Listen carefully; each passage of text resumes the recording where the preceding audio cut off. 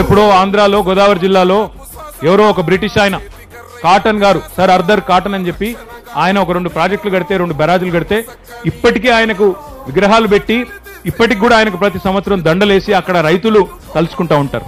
సరే ఒకటి మాత్రం పక్క. ఎవరు ఒప్పుకున్నా ఈరోజు ఒప్పుకోకపోయినా భవిష్యత్తులో ఒక రోజు వస్తుంది. మొత్తం భారతదేశం కేసీఆర్ గారి వైపు చూసి ఈయన అద్భుతాలు చేసినారు ఇరిగేషన్ రంగంలో అని చెప్పే రోజు కూడా వస్తది. ఇది నా మాట గుర్తుపెట్టుకోండి అని చెప్పి కూడా నేను విజ్ఞప్తి చేస్తా ఉన్నాను ఎవరైనా ఎప్పుడైనా చేశారా రైతుకు? ఇన్నేళ్ళకు దిగి వచ్చే చంద్రుడు మన చెంతకు. వ్యవసాయం దండగాను మాటే మారిందిగా. మన్నును నమ్మిన రైతుకు ఇది కన్నుల పండగ. జై కిసాను జై కేసీఆర్ అని నినదించు.